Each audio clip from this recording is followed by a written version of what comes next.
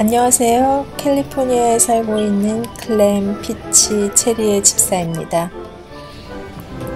오늘은 제가 좋아하는 마켓 Trader Joe's에 갔는데요.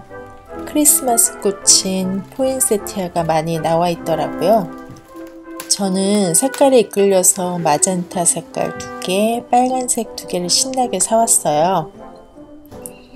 작년까지는 직장을 다녔기 때문에 크리스마스에 나갈 일이 많아서 이런 장식품을 안, 안 했는데 올해는 집에서 고양이들과 지낼 생각으로 덥석 포인세티아를 사왔어요. 애들 방에 오픈해서 놓아두고 혹시 몰라서 고양이에게 포인세티아가 해롭지 않은지 찾아보았어요.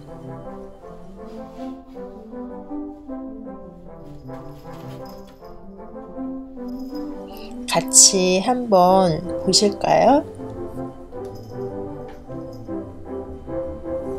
포인세티아는 크리스마스 시즌에 자주 볼 수 있는 식물인데 하지만 이런 포인세티아는 잎과 줄기에서 나오는 액이 고양이에게 구토와 설사, 피부염 등을 일으킬 수 있습니다. 생명에는 큰 위협을 가하지 않지만 조심하시는 것이 좋겠죠. 이렇게 되어 있네요. 그 이외에 어, 해로운 식물들도 적어 보았는데요. 은방울꽃, 백합, 히아신스, 알로에, 포토스, 아이비, 시크라멘 등이 있네요. 어, 고양이들 풀 이외의 식물은 먼저 알아보신 후에 집에 들여놓는 게 좋을 것 같아요.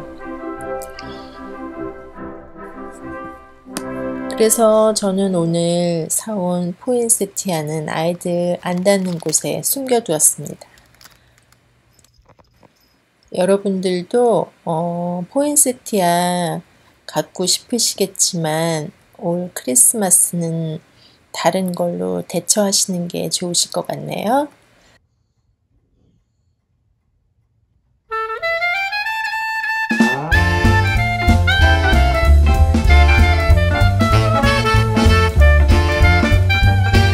끝까지 시청해주셔서 감사합니다. 오늘도 행복하시고요. 다음 영상에서 뵐게요. 감사합니다.